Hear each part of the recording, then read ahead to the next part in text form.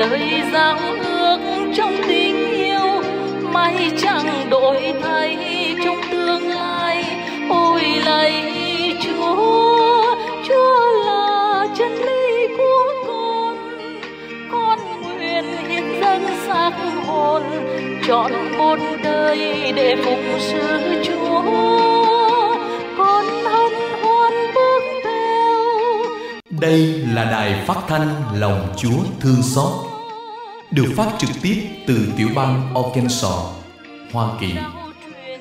Kính chào quý thính giả Và xin Chúa chúc lành cho quý thính giả. Để đầu tiên từ bỏ con đường Kính mời quý thính giả nghe chia sẻ lời Chúa của Linh Mục An Tôn Vũ Quốc Thịnh và audio sách đạo.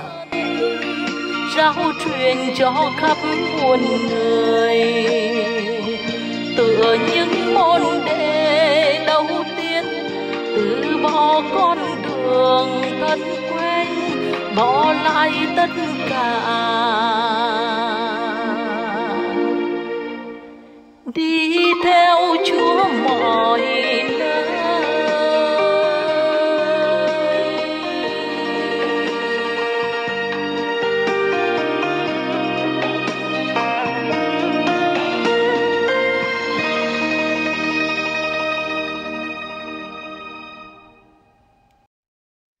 Chiếc sách tiên tri Nahum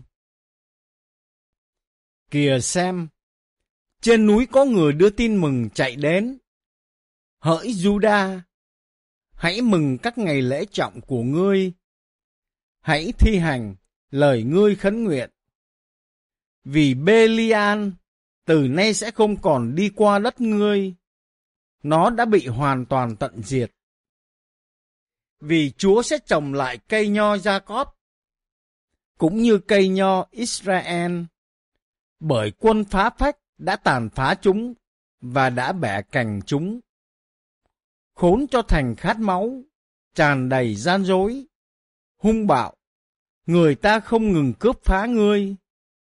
Hãy nghe tiếng roi quất, tiếng bánh xe lăn, ngựa hí, xe phóng nhanh, quân kỵ binh xông đến, gươm lấp lánh, giáo sáng ngời, nhiều người bị giết, tàn phá nặng nề, xác chết vô vàn, ngã quỵ trên nhau.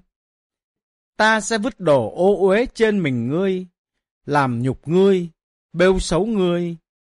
Lúc bấy giờ, hễ ai thấy ngươi cũng ngoảnh mặt mà nói, Ni Ni Vê thật tiêu điều, ai thương được ngươi, tìm đâu ra người an ủi ngươi.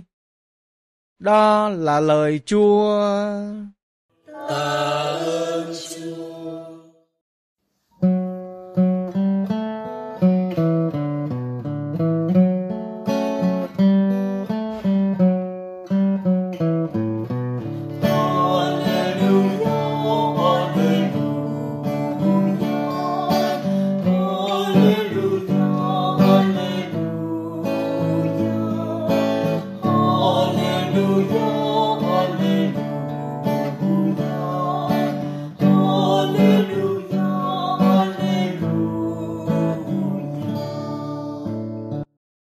Chỉ hôm nay các bạn nghe tiếng Chúa và đừng cưng lòng.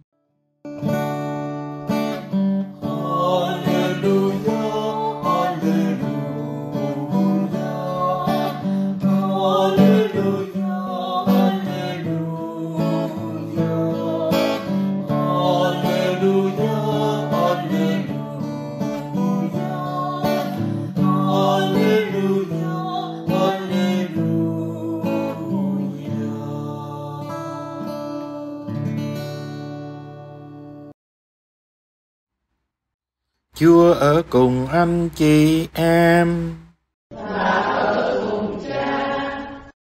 Tin mừng Chúa Giêsu Kitô theo Thánh Mát-theo.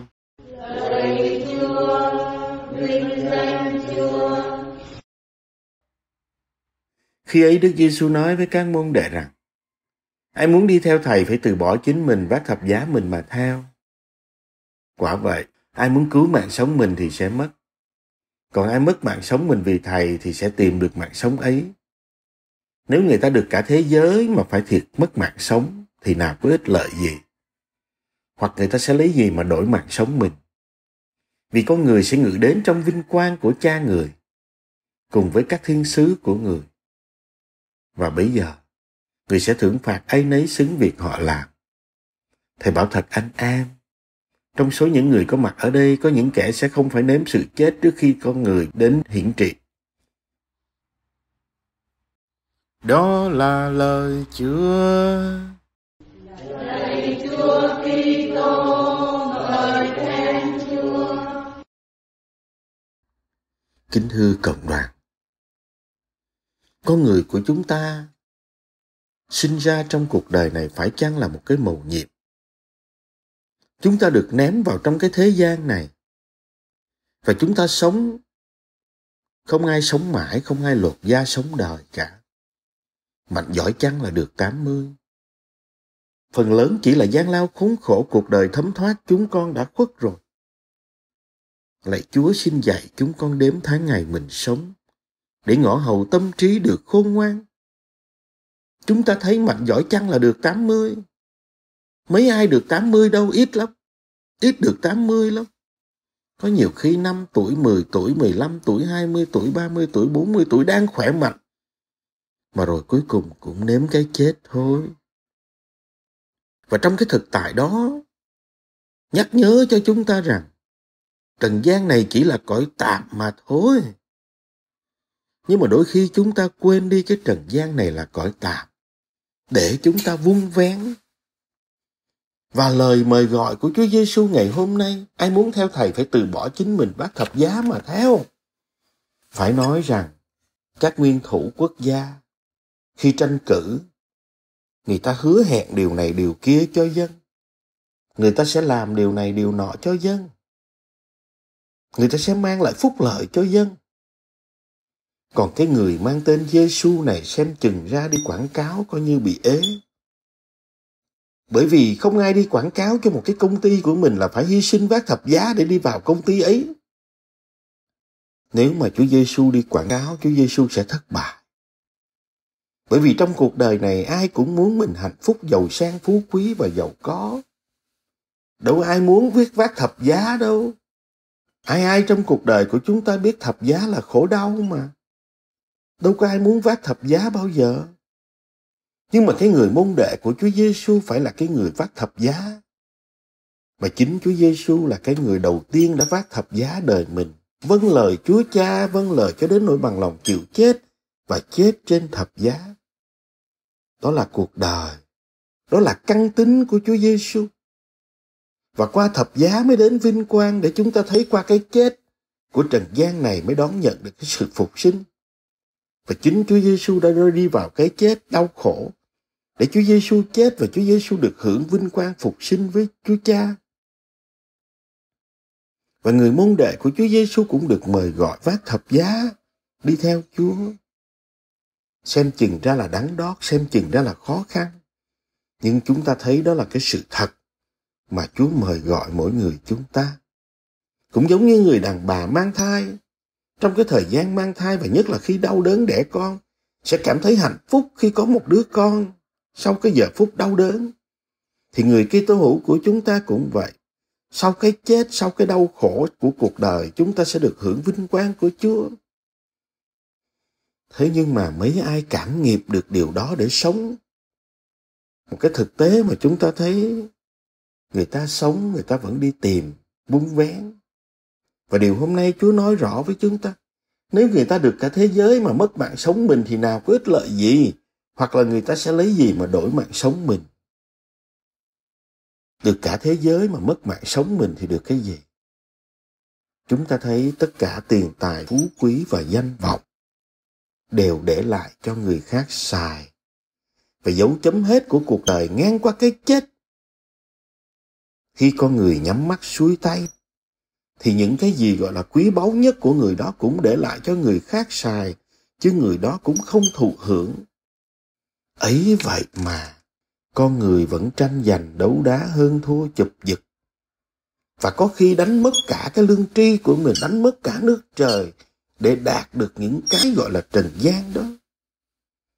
Chúng ta dễ bị cám dỗ, chúng ta dễ bị lung lay để đi tìm những cái của trần gian mà quên đi những cái thực tại trên nước trời.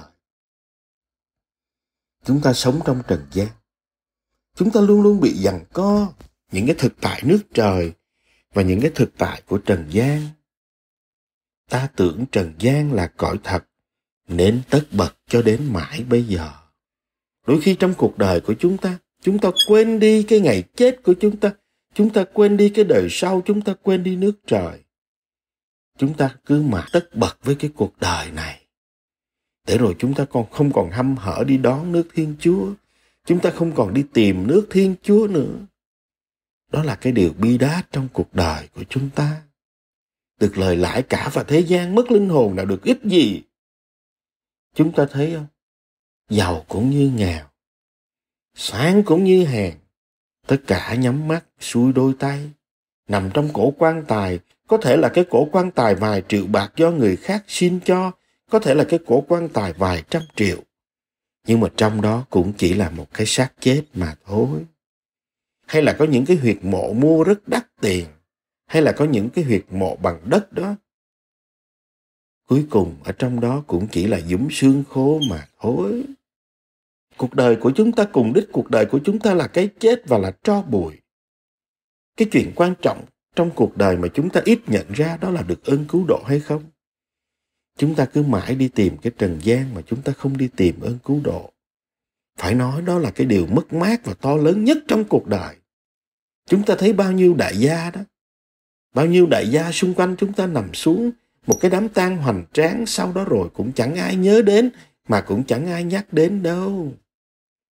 Đôi khi con người cứ viện vào những cái vinh quang phú quý của trần gian để con người đi vung vén, để con người đi tìm mà con người đánh mất đức kitô chuyện quan trọng ở cái cuộc đời này không phải là giàu hay nghèo, sang hay hàng, vất vả hay là không vất vả. Chuyện quan trọng nhất cuộc đời của chúng ta đó là được ơn cứu độ hay không? Mà để được ơn cứu độ, để muốn được cứu độ đó, chúng ta cũng phải từ bỏ chính mình để vác thập giá đời mình đi theo chúa như chúa mời gọi. Ai muốn cứu mạng sống mình thì sẽ mất. Ai mất mạng sống mình vì thầy thì sẽ được cứu. Trong cái hành trình sống trong trần gian này chúng ta có dám để đánh mất mình vì chúa hay không? Hay chúng ta cứ thu vén mình, chúng ta cứ tích lũy? Mỗi người chúng ta được tự do để chọn lựa cho mình cung cách sống. Chúng ta tự do chọn lựa để theo chúa hay là không theo chúa? Chúng ta tự do lựa chọn lựa để mà vác thập giá hay không? Nói đến thập giá thì nhớ tới cái câu chuyện có một cái người kia vác thập giá nặng quá. Anh ta cưa đi một khúc để anh ta vác tiếp. Rồi đi nặng quá, anh ta cưa một khúc để đi vác tiếp rồi đến một cái vực sâu kia để muốn bước qua hai cái vực sâu đó thì thì phải để một cái cây thánh giá đó đi ngang để bước qua. Nhưng mà tiếc thay cái cây thánh giá của anh ta, anh ta đã cưa nhiều lần quá. Nó ngắn quá và không đủ để bắt đứt chiếc cầu để đi qua bên cái bến bờ bên kia. Một cái câu chuyện trừu tượng nhưng mà cũng nhắc nhớ chúng ta. Cuộc đời của chúng ta chúng ta không muốn vác thập giá, chúng ta chê ngại thập giá thì làm sao chúng ta có thể bước vào vinh quang của Chúa được. Xin Chúa thêm ơn cho mỗi người chúng ta. Tưởng chúng ta có đủ sức để chúng ta vác thập giá đời ngày mỗi ngày mà đi theo Chúa. Bởi vì người môn đệ chân chính, người môn đệ đích thực của Chúa, đó là người biết vác thập giá đời mình đi theo Chúa mỗi ngày. Chúng ta không xin Chúa cất cho chúng ta khỏi thập giá, nhưng chúng ta xin Chúa thêm sức để chúng ta vác thập giá đời mình ngày mỗi ngày đi theo Chúa.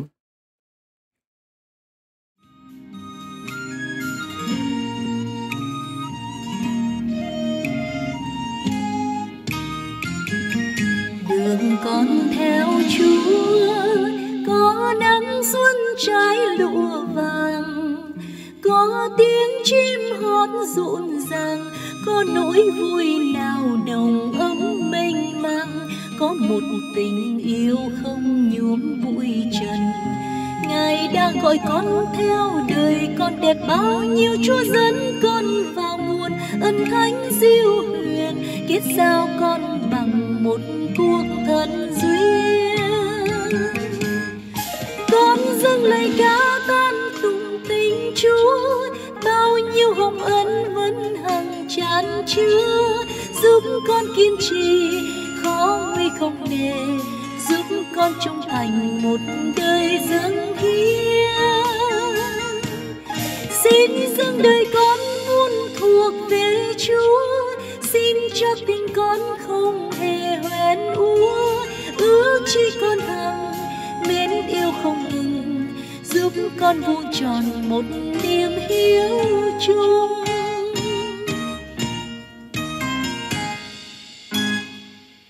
đường con theo chúa, chẳng thiếu gian khó rộng trường.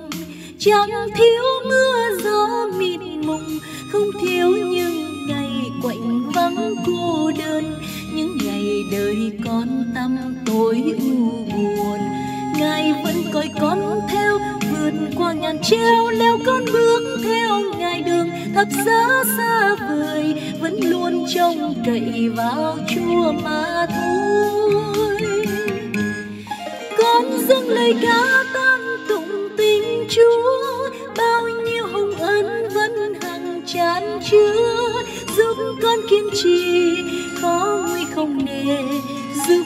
trung thành một đời dâng hiến.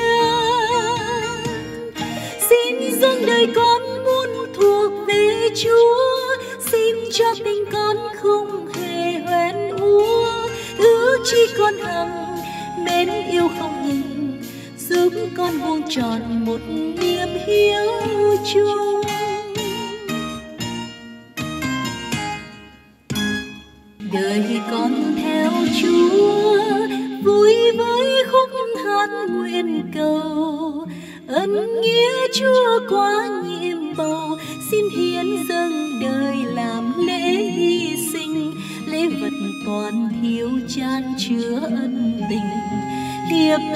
Giêsu tình yêu đẹp thiên thu chiếm xóa tội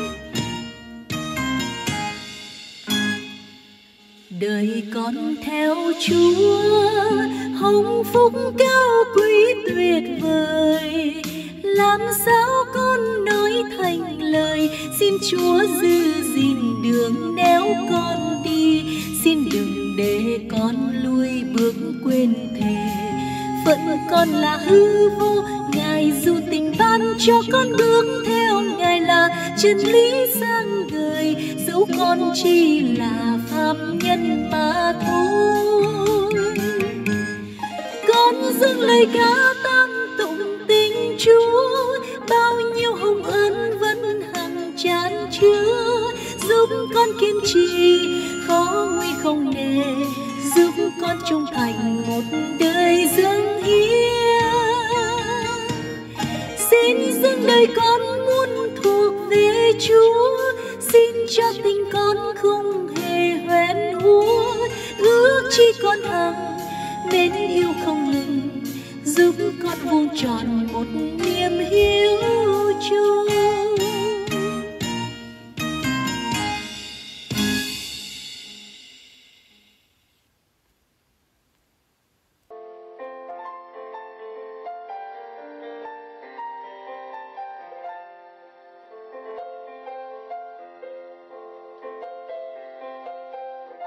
Thưa quý thính giả, hôm nay ngày 9 tháng 8, lễ Thánh Teresa Benedicta Thánh Giá, nữ tu từ đạo.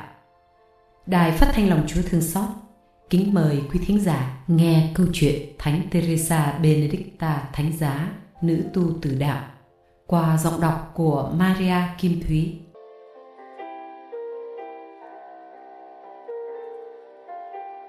Ngày 9 tháng 8, Thánh Teresa Benedicta Thánh Giá, nữ tu từ đạo.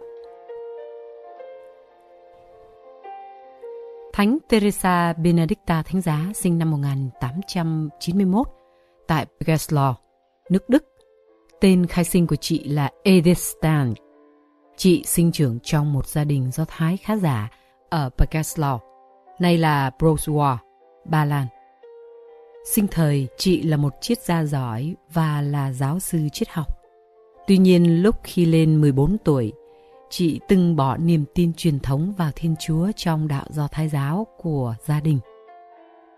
Khi là sinh viên đại học gothic chị bị thu hút vào hiện tượng học Phenomenology, một phương pháp tiếp cận triết học. Đặc biệt, khi được Edmund Husserl, một triết gia hiện tượng học hàng đầu vào thời điểm ấy, bảo trợ, chị đã lấy được bằng tiến sĩ triết học vào năm 1916.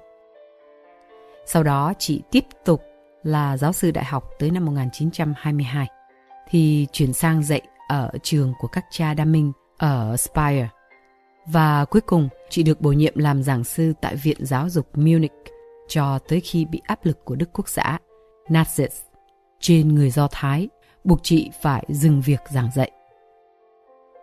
Về sau này, chị được đánh động bởi những người bạn Kitô hữu tốt lành của mình và đặc biệt là sau khi đọc xong cuốn tiểu sử tự thuật của thánh nữ Teresa Avila, chị bắt đầu tái khám phá ra hành trình tâm linh của mình. Rồi chị xin được rửa tội năm 1922, lúc bản thân đã 30 tuổi đời. Năm 1934, chị muốn theo bước thánh Teresa Avila trên đường chọn lành qua việc từ bỏ mọi sự thuộc về thế gian đằng sau để bước vào dòng kín và lấy tên dòng là Teresa Benedicta Thánh Giá. Sau khi sống ở Cologne, Carmel năm 1934 đến 1938, vì thời cuộc vâng lời bề trên, chị chuyển sang dòng kín ở Ed, Hà Lan, một đất nước đã bị Đức Quốc xã chiếm giữ từ năm 1940. Ngày 2 tháng 8 năm 1942, chị Teresa Benedicta Thánh Giá bị các mật vụ người Đức trong cuộc truy tìm và tiêu diệt người Do Thái phát hiện và chị bị bắt giải đến các trại diệt chủng Auschwitz-Birkenau. Nơi đó, chị đã qua đời ngày 9 tháng 8 trong phòng hơi ngạt.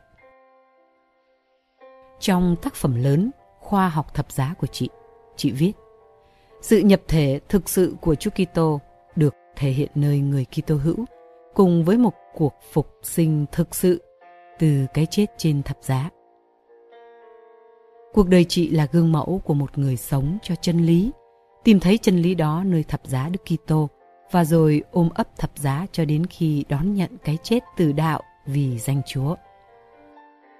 Chị được phong trần phước bởi Thánh giáo hoàng Gioan Phaolô đệ nhị vào ngày 1 tháng 5 năm 1987 tại Cologne, nước Đức. Và cũng chính vị Thánh giáo hoàng này nâng chị lên bậc hiển thánh vào ngày 11 tháng 10 năm 1998 tại Đền Thánh Vatican.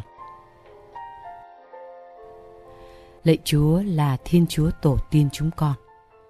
Chúa đã đưa Thánh Teresa Benedicta đến sự tròn đầy của khoa học thập giá trong giờ tử đạo của người. Xin lấp đầy chúng con sự hiểu biết ấy và nhờ lời người truyền cầu, xin cho chúng con luôn tìm kiếm Chúa là chân lý tối thượng và trung thành cho đến chết đối với giao ước tình yêu đã được ký kết trong máu con Chúa cho ơn cứu độ của tất cả mọi người. Chúng con cầu xin nhờ Đức Giêsu Kitô, Chúa chúng con. Amen.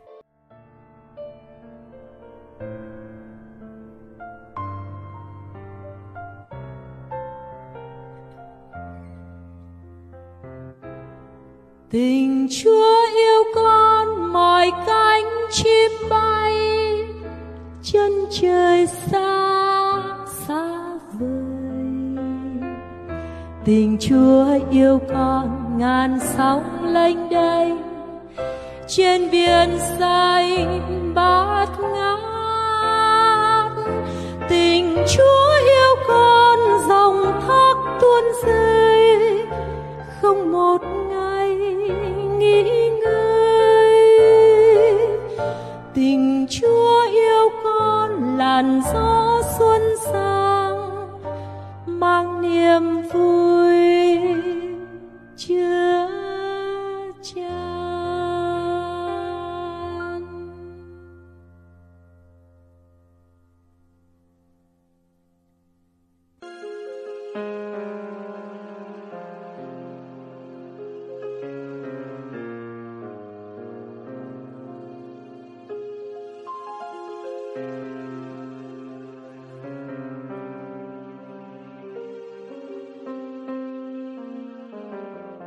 Đài phát thanh lòng Chúa thương xót. Xin mời quý thính giả cùng nghe câu chuyện. Chết lành nhờ rước lễ chính ngày thứ sáu đầu tháng. Với dòng đọc của Teresa Mai Phương.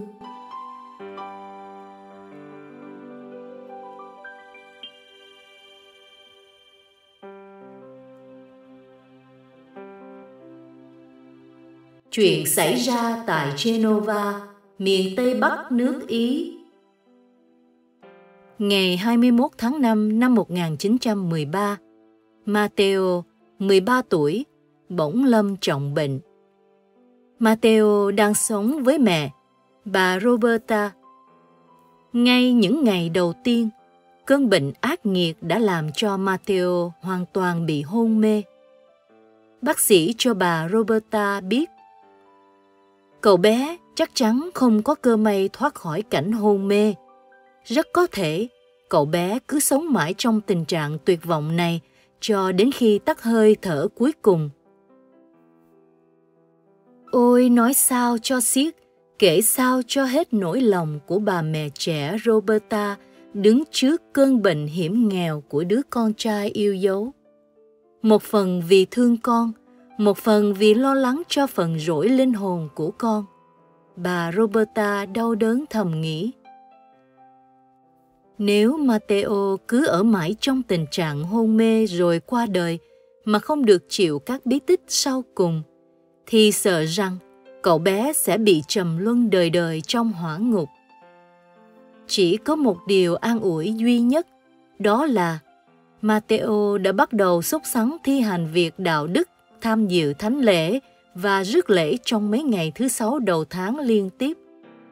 Không lẽ thánh tâm từ bi nhân hậu của Chúa Giêsu lại bỏ rơi Mateo trong những giây phút ngặt nghèo của đời sống sao?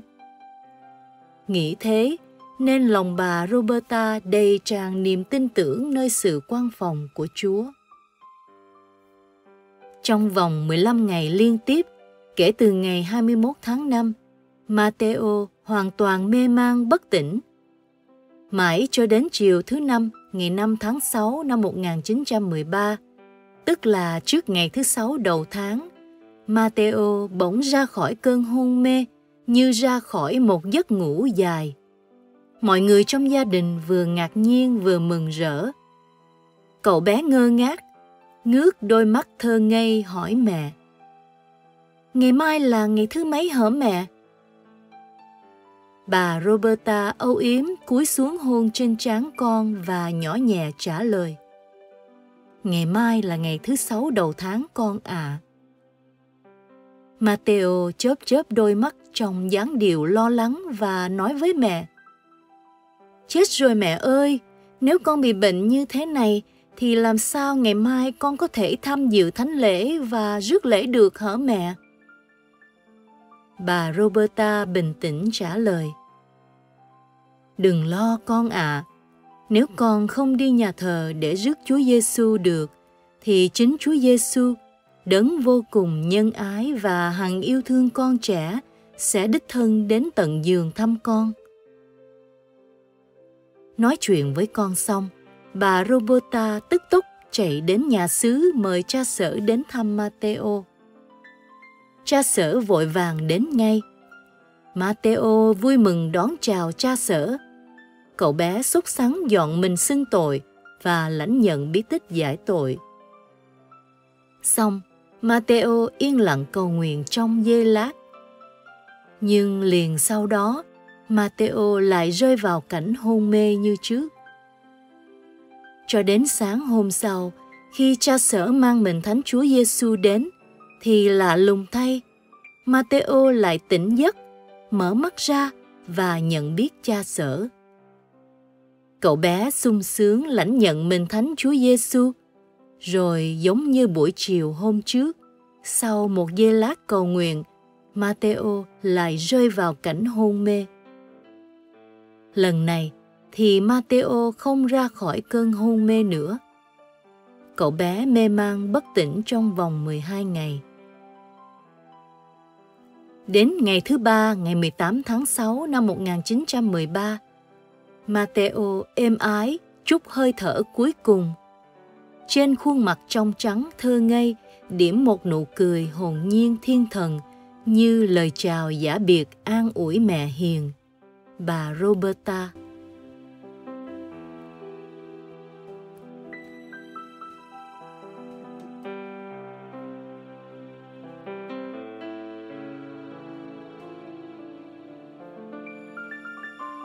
Chuyện xảy ra tại Guadalajara, nước Mễ Tây Cơ. Một tín hữu công giáo đã từng theo hội tam điểm đang hấp hối.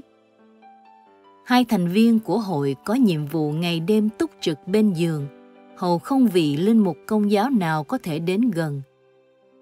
Đối với họ, việc từ bỏ hội kính vào giây phút cuối đời – và ăn năn trở lại với Chúa Giêsu Kitô và với hội thánh công giáo quả là thất bại nặng nề, một ô nhục cho bè tam điểm. Các tín hữu công giáo láng giềng biết rõ tình cảnh đáng thương của người bệnh.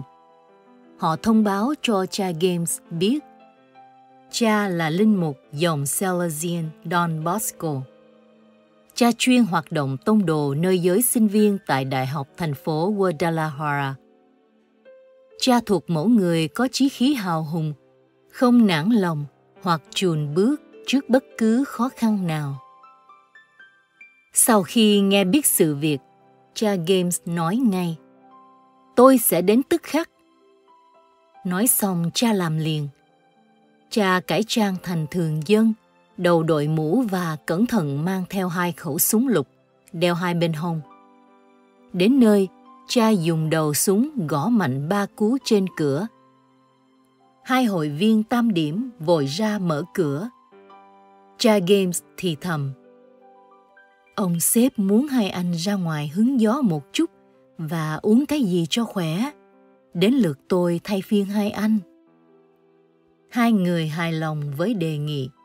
Họ cũng thì thầm vào tai cha Games. Nhớ canh phòng cẩn mật đừng để cha James lọt vào nhà, vì cha sẽ làm hỏng mọi chuyện.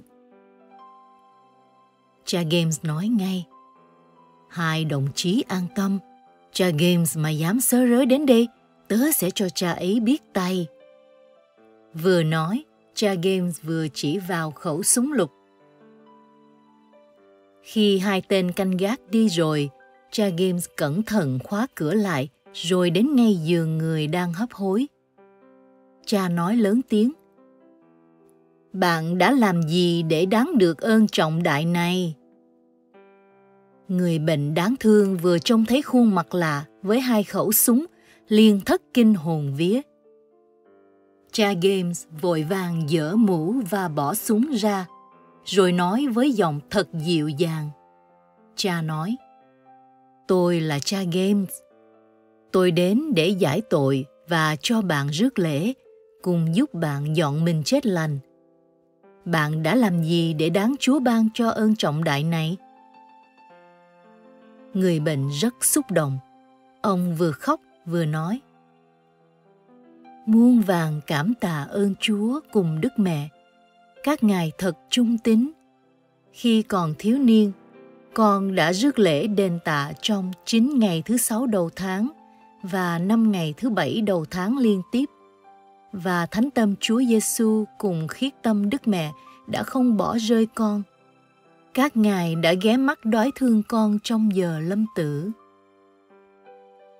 Cha James thành công dễ dàng trong việc giúp người bệnh dọn mình xưng tội. Sau đó, cha cho bệnh nhân rước mình thánh Chúa, rồi nhận bí tích sức giàu. Sau cùng, cha cho người bệnh ký vào hai tờ cam kết từ bỏ bè tam điểm và chấp nhận được ơn chết lành trong tư cách là tín hữu công giáo. Cha Games cũng đồng ký vào hai bản cam kết đó. Xong xuôi mọi sự, cha để lại một bản trên bàn gần giường người bệnh, còn bản kia cha mang về. Khi hai hội viên tam điểm trở lại và thấy tờ cam kết, họ chỉ còn biết kêu lên. Quả là cha Games đã làm được điều này. Đáng lý mình không nên để cha vào nhà mới phải. Nói rồi họ thất vọng bỏ đi. Và cha Games có thể tự do trở lại giúp người hấp hối cho đến khi ông ta chút hơi thở cuối cùng. Sau này, chính hai hội viên kia cũng ăn năn thống hối và được cha Games giúp đỡ đưa về với hội thánh công giáo.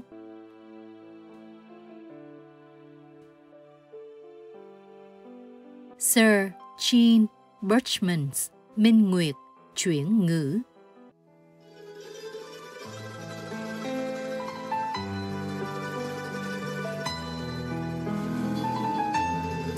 ở lại với con, chúa ơi, ở lại với con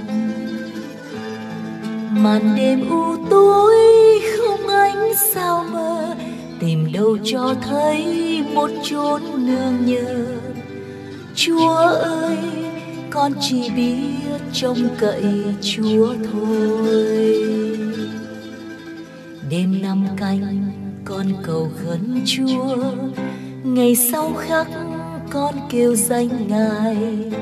Xin ngài đừng lánh xa con xin ngài đừng chối từ con, nhưng đói thương để tai nghe tiếng con van này. Ở lại với con, chúa ơi, ở lại với con. Làm thân lữ khách nơi chốn quê người, buồn thương nhung nhớ che lấp tiếng cười chúa ơi, xin ngài hãy ở lại với con. Làm thân lữ khách nơi chốn quê người, buồn thương nhung nhớ che lấp tiếng cười.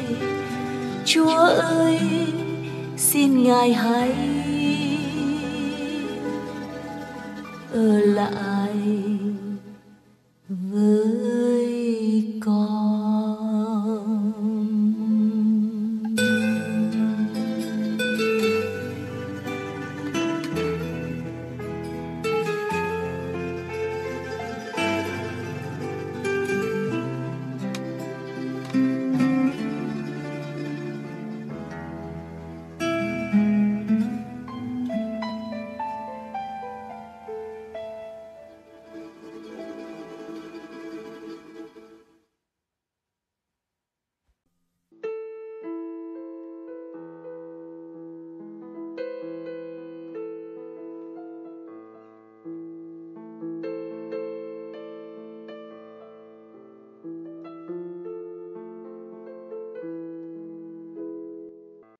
Thông báo, Đài Phát thanh Lòng Chúa Thương Xót đã thực hiện xong audio Chuyện Đức Mẹ, các thánh, nghe trên máy radio MP3.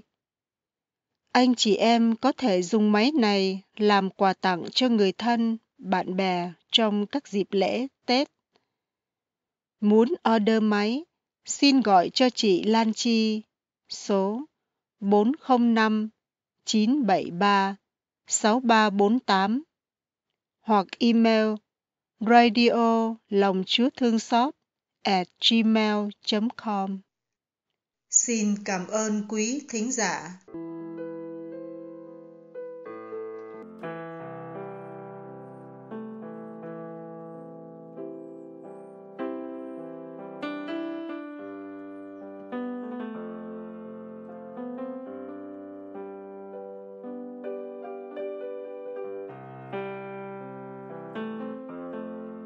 Kính thưa quý tín giả, trong chương trình đọc truyện hôm nay, Chúng tôi xin mời quý vị nghe tiếp tác phẩm Thầy Marcel Văn Tình yêu không thể chết của Linh Mục Marie Michel dòng Camelo do Phan Marie Lê Văn truyền ngữ và Đài Phát thanh Lòng Chúa Thương Xót thực hiện.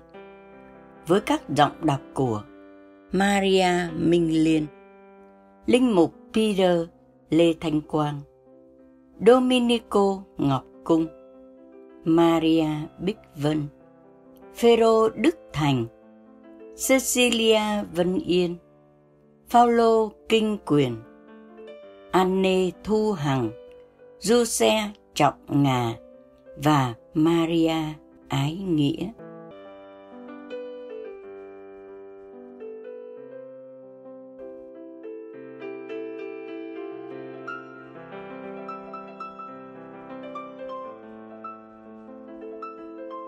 Tình yêu, một diễm phúc bất diệt.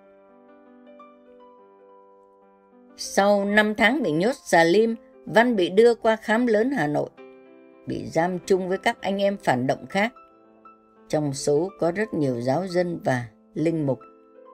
Văn cũng được anh em trong dòng viếng thăm và tiếp tế nhỏ giọt, vì luật tù cấm gặp. Vào cuối tháng 11 1955, một chàng thanh niên được thả về đã giấu trong cổ áo nhiều mảnh thư của thầy Mặc Sen và ra lọt. Thầy Mặc Sen báo cáo với cha bề trên các thử thách đã trải qua và nói lên quyết tâm không mảy may nao núng. Nếu con muốn sống, thật quá dễ dàng. Con chỉ việc tố giác cha. Chắc cha biết qua về phong trào tố khổ của những người yêu nước, những người cách mạng Việt Nam rồi chứ gì. Ôi tinh thần yêu nước, ôi cách mạng, người ta đã nhân danh ngươi để phạm biết bao tội ác. Thầy Mặc Sen cũng viết mấy chữ cho cha linh hồn của mình. Thời gian qua, con đã phải chiến đấu rất nhiều và chịu đủ mọi khổ hình về tâm não. Kẻ thù dùng nhiều mưu, bắt con phải đầu hàng, nhưng chưa bao giờ con lại hèn nhát đến thế. Cũng có thể nói, nếu con ham sống, thì ngày nay con không còn bị nhốt ở trong tù nữa. Nhưng kẻ thù lại không muốn để con chết một cách anh dũng và dễ dàng như thế. Cha hiểu con nói gì rồi. Cha cầu nguyện nhiều cho con, cách riêng cho các tín hữu Bắc Việt. Tù 304A Thư ngày 17 tháng 11 1955 Gửi cha Anton Buche Sau cùng thầy Mạc Sen gửi thư cho cô em gái Anna Maria Tế, nữ tu sĩ dòng kín cứu thế ở Canada.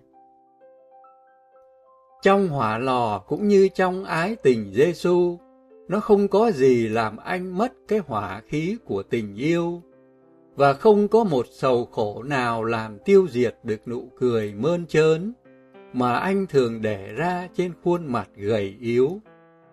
Mơn trớn ai, nếu không phải là Giêsu chí ái? Qua năm tháng bị nhốt trong phòng tối, người ta thường gọi là xà lim. Ngày nay, anh được ra trại ngoài thoáng thoát hơn. Có nhiều vị linh mục cũng bị giam với anh, nhưng nay họ đã phân tán các vị ấy về địa phương cả rồi. Không rõ số phận các vị ấy ra sao. Văn cũng cho em biết sức khỏe của Văn hiện nay rất đáng lo ngại. Trong mảnh giấy gửi lén lút, Văn viết vội ít chữ và cũng báo tin được điều chủ yếu. Còn anh ngày nay chỉ còn là một xác chết biết thở. Anh yếu lắm, nhưng khổ não vẫn chưa cạn, chén sầu còn đầy, và còn nhiều gian lao chưa biết ước lượng làm sao. Nhưng còn tình yêu, tất nhiên, vẫn còn chí khí anh hùng. Anh là lễ vật của tình yêu, và tình yêu là tất cả hạnh phúc bất diệt của anh. Em Enne Maria thân ái của anh, đừng khóc, hay có khóc thì hãy khóc vì em chưa hy sinh đủ. Tuy nhiên, dù sao, anh cũng khuyên em đừng khóc. Hãy nên vui vẻ dâng hiến Chúa hết mọi sự. Nếu Chúa muốn dùng dịp này để đưa anh về trời trước, em cũng đừng âu sầu, nhưng hãy vui sướng. Sau hết lòng đầy lưu luyến nhớ thương, Văn nhắn gửi lời thăm gia đình.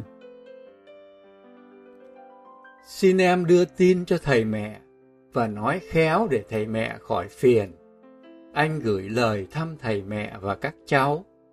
Còn bao nhiêu, về trời anh sẽ nói. Hãy cầu nguyện nhiều cho anh, để anh đủ can trường phấn đấu cho đến cùng. Kẻ thù gian ác và rất quỷ quyệt. Họ có thể tiêu diệt được thể xác, nhưng không thể lay chuyển nổi tinh thần. Chúa nói ta đừng sợ. Vào tháng 7 1956, Văn lại bị hỏi cung và hai lần đưa ra trước tòa án Hà Nội. Mỗi lần ra tòa, Văn thấy hàng ngàn người công giáo cấp tiến có mặt. Họ được chính quyền mời tham dự. Phiên tòa xử ác ôn phản động Văn. Sự kiện này làm cho người ta nhớ đến những việc mới xảy ra ở Trung Cộng. Chính quyền độc tài vẫn có người công giáo ủng hộ, luôn luôn có người làm vì, có người đóng vai phụ để biện minh phần nào tội ác của nó. Nhưng không một ai có thể quên cảnh tượng một sinh viên bé nhỏ ngăn chặn thiết giáp xa trên quảng trường Thiên An Môn ở Bắc Kinh. Em sinh viên chết, nhưng hình ảnh em sống mãi. Cũng thế, Văn chỉ loi ngoi một mình trong giờ phút này, chống lại bộ máy pháp lý nặng nề, trực nuốt sống anh. Theo chứng cớ được biết sau này, Văn rất bình tĩnh và tự chủ trả lời rõ ràng và đúng lúc các chất vấn của tòa án. Lúc nào Văn trả lời quá đúng, hợp lẽ. Tức thì bọn canh giữ bắt Văn phải im mồm. Tất cả lời tố cáo nhằm buộc tội Văn về việc này. Đã hoạt động tuyên truyền cho Tổng thống miền Nam. Đối với quan tòa, tội ác đó có thể tha thứ được nếu Văn thú nhận. Sẽ được tha ngay, nhưng Văn trả miếng. Tha thứ được hoặc không, điều đó ít quan trọng. Điều cốt yếu là có phạm tội ác hay không. Tôi không thú nhận tội ác mà không bao giờ tôi phạm. Trong viên sử thứ nhì, trước việc Văn khăng khăng không nhận tội, tòa cho là anh không có thiện trí, là ngoan cố bướng bỉnh. Tòa tuyên án phạt Văn 15 năm tù. Phiên xử kết thúc, bọn lính gác lôi Văn đi, nhốt vào. Nhà định mệnh kiếp tù cải tạo bắt đầu.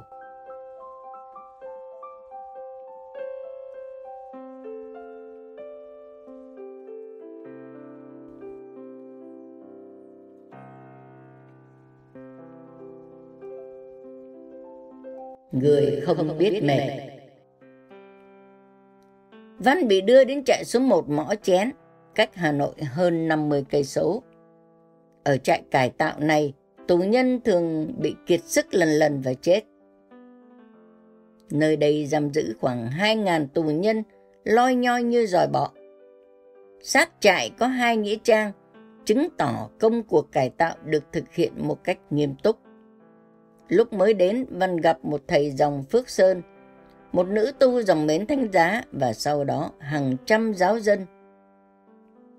Trong thư gửi cha Paquet, Văn mô tả tình hình như sau. Con vừa được chuyển từ Gò Mà ra mỏ chén được non nửa tháng nay. Con rất cảm ơn Chúa vì ra đây con đã gặp và sống với một số đông người công giáo. Ơn Chúa thương, phần đông các anh chị em đều khỏe cả. Các anh chị em phần đông là chánh trương, chùm trưởng ở Bùi Chu, Phát Diệm và Hà Nội hầu hết các anh chị em công giáo ở đây đều có một đức tin vững chắc. Hiện nay, đa số họ là những người nghèo, vì có bao nhiêu của cải đều bị tịch thu hết. có người chịu tù cả gia đình, hoặc gia đình đi Nam cả. Họ nghèo lắm, thiếu thốn cả mọi sự. Số tiền nhà cho con hôm Tết, nay con đã phân phát hết, và chính con hiện nay cũng cạn tiền tiêu. Con thiết tưởng, việc làm ấy cha cũng vui lòng, vì đó là nhiệm vụ bác ái giữa chúng ta. Văn kể lại công việc nghe anh em than thở và an ủi họ. Diễm phúc bất diệt, Văn đang sống. Văn truyền qua cho anh em đồng cảnh. Phần con, từ ngày ra ở mỏ chén, công việc bận rộn như một cha xứ non. Ngoài giờ chính quyền, con phải tiếp khách liên tục, hết người nọ đến người kia. Họ coi con như người không biết mệt. Tuy nhiên, họ cũng nhận thấy con không được khỏe lắm. Đúng vậy, Văn yếu ớt, mảnh rẻ. Nhưng có ai đó ở trong Văn. Chính người Văn là tòa Chúa Kitô ngự. Từ nay, chính Chúa Kitô sống trong trái tim Văn. Chính Ngài đau khổ và vâng lời. Chính Ngài yêu thương qua đời sống của Văn. Chính Giêsu lôi cuốn Văn vào dòng yêu thương vĩ đại của tình yêu cứu độ của Ngài. Trong bức thư cuối cùng ấy, Văn chỉ tưởng nghĩ đến Giêsu và tha nhân. Vân đã đi sâu, đi sát, đã sống trọn vẹn hai điều luật của Chúa, kính Chúa yêu người. Con sung sướng vì thời gian tù của con không bị thiệt thòi phần này. Mà chính ở nơi này, Chúa đã tỏ cho con biết thánh ý Ngài. Đã bao nhiêu lần trong trại giam, con xin Chúa cho con chết, nhưng Chúa đều trả lời. Được, cha sẵn sàng làm theo ý con, như con vẫn theo ý cha. Nhưng các linh hồn còn cần con. Nếu không có con, cha không thể đến với các linh hồn được. Vậy, con nghĩ sao? Xin cha cầu nguyện nhiều cho con hơn nữa. Vì nhờ vào cuộc sống âm u đầy gian khổ, con vẫn còn cảm thấy run sợ hơn là sung sướng. Nhưng con sẵn sàng làm chọn thánh ý Chúa trong đời con.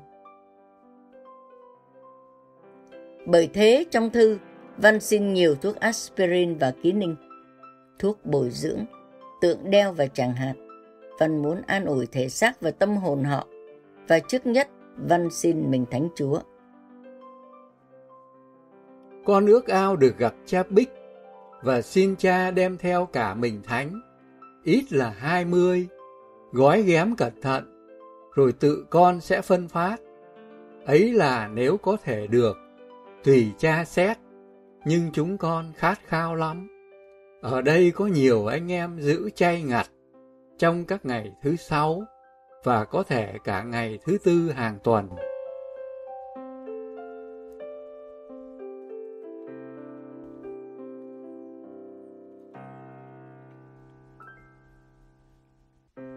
Ngày 10 tháng 7 năm 1959, một ngôi sao xuất hiện. Văn qua đời. Tháng 8 năm 1957, Văn được chuyển đến trại số 2, Yên Bình, cách Hà Nội 150 cây số về phía tây bắc. Sau lần mưu trốn, bị bắt lại, bị đánh đập rồi bị nhốt trong một xà lim bẩn thỉu đầy mũi mỏng trong hai năm. Văn bị áp dụng kỷ luật sắt, bị bắt buộc sống dưới một chế độ đặc biệt hà khắc. Một anh gác tù. Chế độ cải tạo cộng sản gọi là quản giáo, nói với người bà con đến thăm Văn. Tên Văn không tiến bộ chút nào trong việc cải tạo. Thủ trưởng không cho phép anh đến thăm hắn nữa. Kể từ đó, không thăm nuôi, không thư từ, và đầu năm 1958, Văn bị cùng tay chân trong 3 tháng. Con người gai ngạnh, đứa trẻ hay cầu nhau của Chúa, chỉ trơ trọi một mình, không nơi nương tự, không ánh sáng. Chỉ còn lại ánh sáng duy nhất rực chiếu trong tâm hồn mình. Tháng 6 năm 1959 trong tình trạng thê thảm, Văn bị khiêng ra khỏi xà lim bị lao phổi quá nặng, người phu thủng, căng trướng lên, chỉ còn da bọc xương. Bệnh xá của trại giam đã sụp đổ từ lâu, không được dựng lại. Bọn người có trách nhiệm phải giam văn trong buồng giam 60 tù nhân. Trong số này có rất nhiều tín hữu, có mặt cả cha Vinh, phụ tá Đức Giám mục Địa phần Hà Nội. Kẻ lương người giáo đều bồi hồi chấn động tâm can trước cái đau đớn khủng khiếp và cái dũng cảm vô song của thầy Marcel Văn.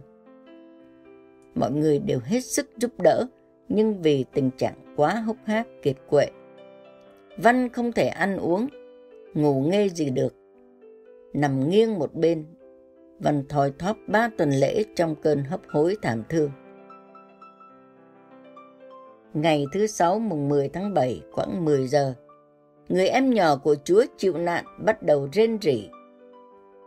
Cha Vinh vừa chạy đến, thấy Marcel Văn bắt đầu mê man. Giai đoạn chót của cơn hấp hối, cha Vinh đọc kinh cầu rỗi linh hồn và kinh cầu đăng khi qua đời. Ngài ban phép tha tội. Và thầy Marcel Văn thở hơi cuối cùng Lúc đó là 12 giờ trưa. Đứa con thân yêu đã ngã vào cánh tay cha cả đời đời.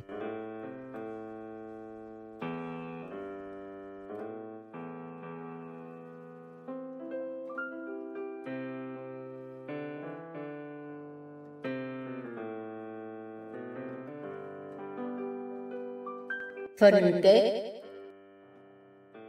Một thế kỷ trước và cùng tuổi với Văn, 31 tuổi, Thánh Tiêu Phan Vena đã đổ máu mình vì Chúa tại Bắc Việt.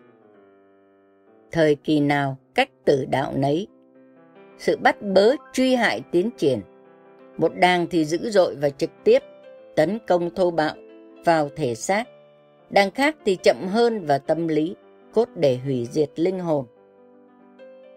Cơn hấp hối kéo dài của Văn chứng tỏ điều ấy. Nhưng trong cả hai vị anh hùng này cũng có một niềm tin cậy vô tận, cũng một sức mạnh tình yêu xuyên qua cái chết. Trong bức thư chót gửi cho giám mục của mình, Têu Phan ký tắt, đứa con nhỏ ven. Thánh sẽ mỉm cười nếu người biết được rằng đứa con nhỏ văn đi theo dấu vết người. Và giữa bé Ven và bé Văn, bé Teresa xen vào. Teresa thường mơ ước chết tại Việt Nam và chết tử đạo. Phải chăng Teresa đã ước nguyện đến sống tại dòng Carmelo ở Hà Nội? Và này đây, bé Văn, người em nhỏ của Teresa đã thực hiện ước mơ của thánh nữ giữa thế kỷ 20 vô thần này, mà Teresa đã hy sinh cả cuộc đời để xin ơn cứu vãn.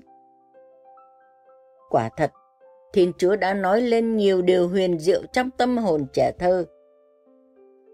Dân Việt Nam có câu tục ngữ. Người lùn sao rớ được sao? Sao cao vời vợi, nam Tào lấy cho. Văn biết như thế, và càng cố sức mở mắt nhìn mặt trời, vẫn đã trở thành một ngôi sao. Tôi không nhìn đâu ra, cũng chẳng nhìn quanh quẩn tôi chỉ ngắm nhìn người tôi yêu, và vì tôi yêu mến người, tất cả trong tôi chỉ là tình yêu.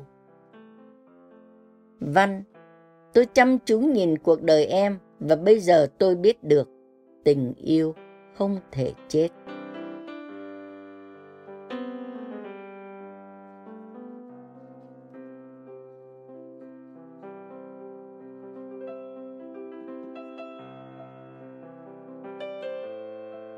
Tài liệu phụ số 1 Một tiếng đồng hồ sau khi thầy mặc sen thở hơi cuối cùng, bọn canh giữ nhà lao cho đưa đi chôn. Tất cả giáo dân bị giam giữ trong trại đều xin phép đưa thầy đến nơi mai táng, nhưng bị cự tuyệt. Nhà tù chọn bốn anh em trong số họ để khiêng quan tài. Phía trên đầu huyệt, anh em chôn một chai không, để làm dấu mong giúp tìm lại được nơi chôn trong rừng.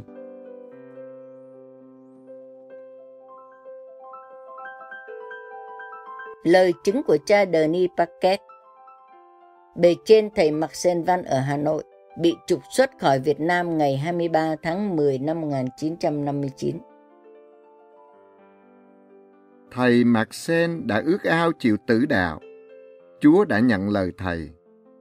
Cũng như muôn ngàn người khác chết dưới tay Việt Minh, thiết tưởng chúng ta có thể tặng một cách chính đáng vinh tước tử đạo cho thầy mạc sen của chúng ta. Để chứng tỏ lòng trung kiên với Thiên Chúa và giáo hội, thầy đã chấp nhận tù ngục, hành hạ và cái chết bi thảm. Đặc biệt hơn suốt hai năm biệt giam trong xà liêm thầy bệnh nặng, bị bỏ mặt không được săn sóc, nằm chờ chết. Nơi đây, thầy được cơ hội rèn luyện các nhân đức tuyệt diệu nhất đến mức độ anh hùng. Ước mong chúng ta không thờ ơ lãnh đạm với cái chết của thầy Mặc Sen thân mến của chúng ta. Chúng ta cầu nguyện cho sự an nghỉ đời đời của linh hồn thầy. Đồng thời chúng ta khẩn cầu thầy như đấng thánh. Ước gì thầy trở nên gương mẫu, mực thước của chúng ta. Ước gì những gương tốt sáng chói của thầy luôn luôn sống động trước mắt chúng ta. Ước gì những gương tốt sáng chói này là những khuyến khích mạnh mẽ đối với chúng ta trên con đường yêu thương và hy sinh.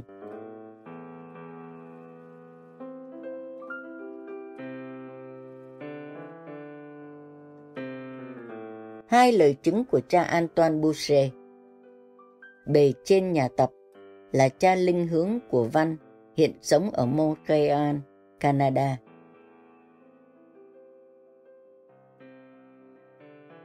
Những kỷ niệm của tôi là tất cả những gì thầy Mạc Sen Văn bé nhỏ đã viết lại và đã sống qua. Chính thầy ấy đã đích thân trình bày với tôi. Trước ít có ghi lại. Tôi được gửi đi truyền giáo ở Việt Nam vào mùa thu năm 1935. Tôi 28 tuổi. Tôi đã được học tiếng Việt tạm đủ để tiếp xúc với một số giới trẻ đang theo chương trình giáo khoa để sau này được chịu chức linh mục. Sau 10 năm dạy học, tôi được chỉ định làm bề trên nhà tập năm 1942.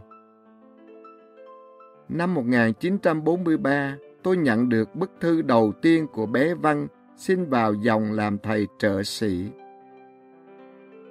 Tôi coi như là một trong những đặc ân quý giá nhất của đời tôi việc tôi đã được sống 7 năm bên cạnh chú bé tí này.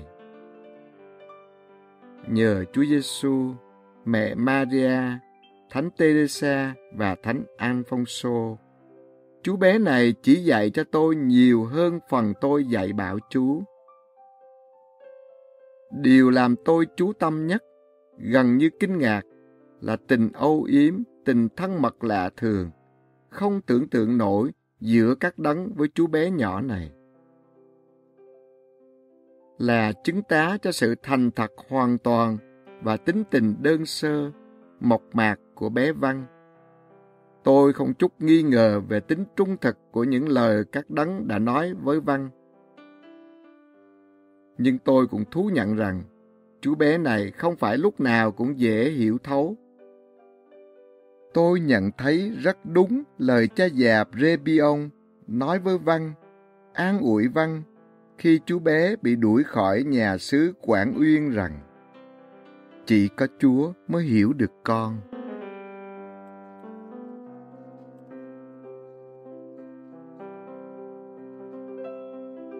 Trích thư gửi cha Marie Michel Tôi rất muốn thực hiện sớm việc dịch lại bản viết của thầy Marcel, nhưng tôi quá bận rộn công việc kể từ khi từ Việt Nam trở về đây năm 1964. Đối với tôi, công việc cha đang làm quả là một khuyến khích lớn lao thúc giục tôi tiếp tục phần việc mà Thiên Chúa chờ đợi ở tôi. Đó là bản dịch toàn bộ các bản viết của thầy Marcel với mục đích để thầy Văn được nhiều người biết và cầu nguyện ngõ hầu đệ trình hồ sơ mặc văn tới Roma thì đến lúc. Tôi cũng trình cha là tôi cho đọc bản viết bằng tiếng Việt trong hai nhà dòng Carmelo ở Canada có nhiều nữ tu Việt Nam. Kết quả rất mỹ mãn, nếu không muốn nói là tuyệt vời. Sau khi hai cuốn sách của cha được xuất bản, tôi dự kiến là hai cuốn sách ấy có thể được dịch ra tiếng Việt. Độc giả Việt Nam đang trông chờ việc ấy.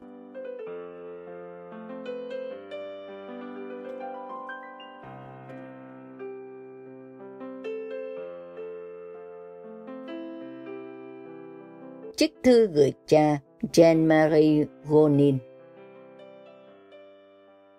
Tôi mong ước các nhà dòng Camelo ở Pháp cũng như khắp nơi biết rõ vai trò của Teresa trong cuộc đời đứa bé mà thánh nữ đã nhận làm em nhỏ một cách hết sức dễ thương và đã thân mật, chiều mến, đi kèm văn suốt cả cuộc đời, nhất là những lúc khốn đốn cùng cực. Phần tôi đã từng theo dõi văn suốt hơn 5 năm sống bên cạnh và những năm liên lạc thư từ, tôi không thể nghi hoặc sự thật về việc can thiệp của Teresa vào đời sống văn từ lúc 12 tuổi và cái chân tình trọn vẹn của người thư ký nhỏ của Giêsu.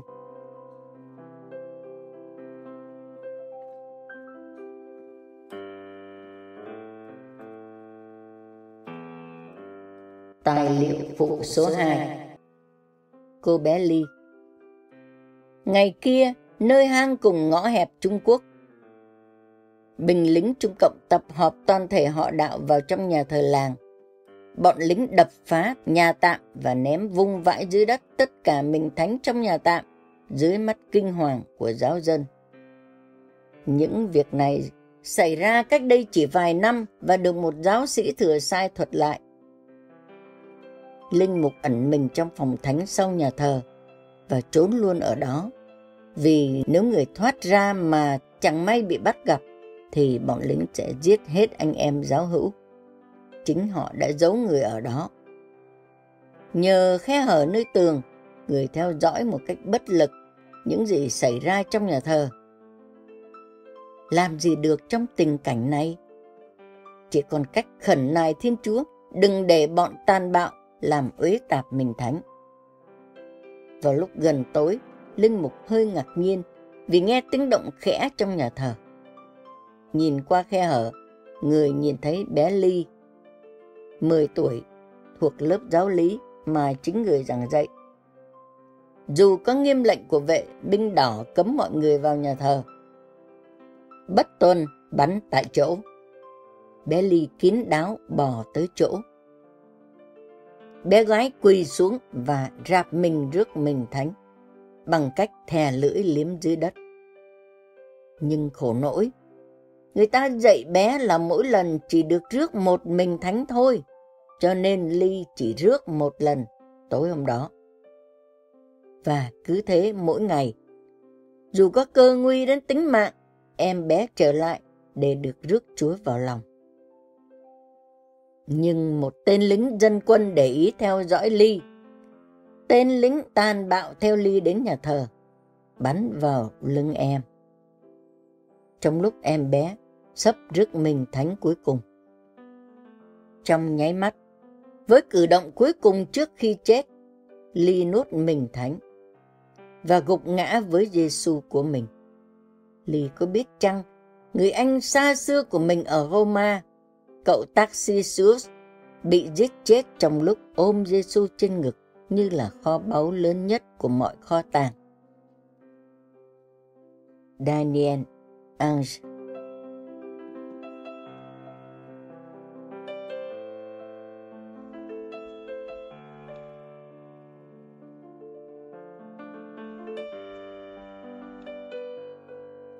Kính thưa quý thính giả, chương trình đọc truyện với tác phẩm thầy Marcel Văn Tình yêu không thể chết đã kết thúc.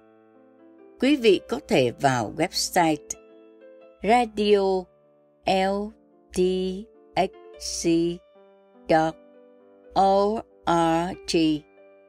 để nghe lại toàn bộ câu chuyện. Chân thành cảm ơn sự chú ý lắng nghe của quý vị. Nguyện xin Thầy Marcel Văn cầu bầu cho chúng con biết yêu mến Chúa trên hết mọi sự. Ước gì những gương tốt sáng chói của Thầy luôn luôn sống động trước mắt chúng con và là những khuyến khích mạnh mẽ cho chúng con trên con đường yêu thương và hy sinh. Amen.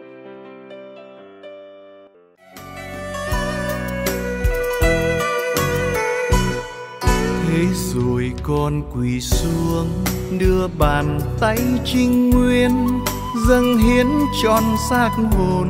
Suốt đời con hiến thân, làm lễ tế hy sinh, làm lễ dâng toàn thiêu ánh đèn trên bàn thánh đưa hồn con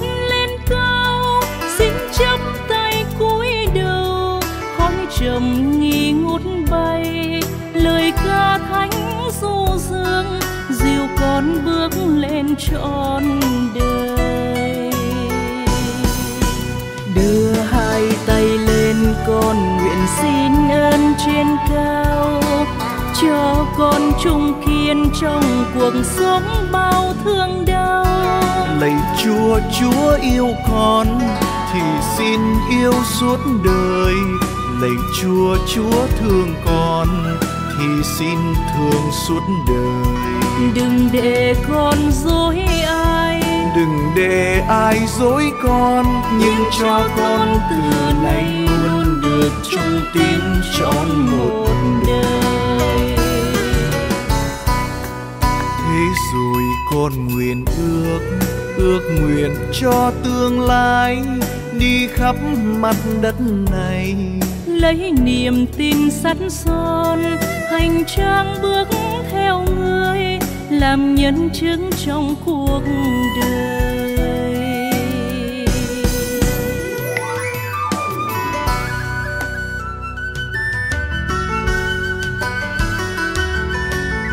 Kính thưa quý thánh giả, chương trình phát thanh Lòng Chúa Thương Xót hôm nay đến đây đã kết thúc. Tạ ơn Chúa và xin Chúa chúc lành cho quý khán giả. Xin Thánh Thần Chúa tác động để lời Chúa thấm nhập và đi vào hành động của mỗi người chúng ta để mỗi ngày chúng ta đạt được hạnh phúc đời này và đời sau, nhờ lời của Chúa thấm hóa chúng ta.